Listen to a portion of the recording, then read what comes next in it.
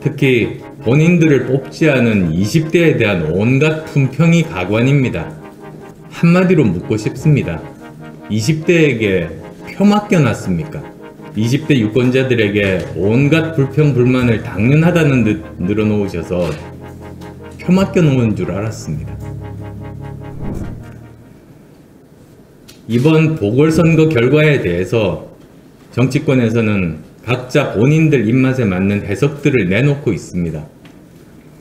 특히 본인들을 뽑지 않은 20대에 대한 온갖 품평이 가관입니다. 한마디로 묻고 싶습니다. 20대에게 표 맡겨놨습니까? 20대 유권자들에게 온갖 불평, 불만을 당연하다는 듯 늘어놓으셔서 표 맡겨놓은 줄 알았습니다. 지금까지 20대의 목소리에 귀나 기울였습니까?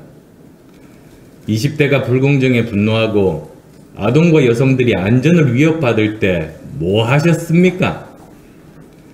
특히 여당에서는 조국 교수가 저지른 입시 불공정은 상류층 관행일 뿐이라며 떠들었고 젊은 여성들이 집에서조차 안전하지 않고 직장에서 성범죄의 위협에 놓였을 때 뭐라고 했습니까? 피해자 편에 섰습니까? 오히려 피해 호소인이라고 했습니다. 이번 보궐선거 결과는 피해자가 일상으로 돌아가야 한다는 기본적인 상식을 겨우 실현시켰을 뿐입니다. 여성들뿐만 아니라 많은 국민들께서 원하는 상식이었고 원하는 결과였다고 생각합니다. 이번 20대 유권자의 선택은 이념을 벗어나 현 정권의 엉터리 정책과 불공정, 부패, 성범죄의 분노를 표한 실리적이고 실용적인 선택이었습니다. 정치권은 긴장해야 합니다. 이번 20대 유권자의 실용적인 선택은 유권자의 분노의 기생에 표장사할 국리만 하는 정치 세력은 더 이상 20대 유권자의 선택을 받을 수 없다는 것을 의미하기 때문입니다.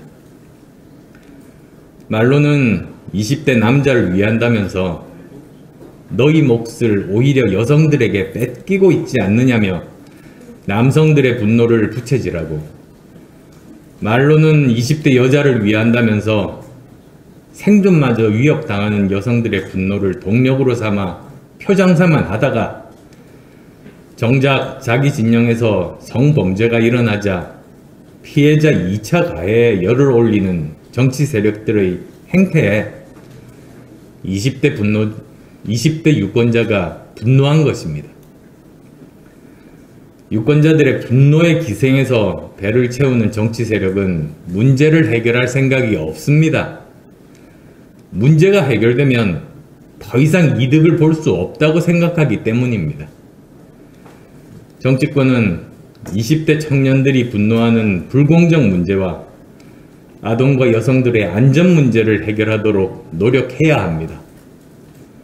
갈수록 적어지는 일자리로 고스펙 청년들도 취직조차 불가능한 현실에 대한 불만들을 성별 대결로 몰아 분노를 이용하려는 말들을 멈추어야 합니다. 불투명한 미래로 불안한 청년들에게 정치인이 할 말이 고작 그런 것 뿐입니까? 올바른 정치 세력이라면 이간질하는데 열을 올릴 것이 아니라 청년들에게 더 좋은 일자리와 더 많은 일자리를 만들 수 있는 비전을 제시해야 합니다.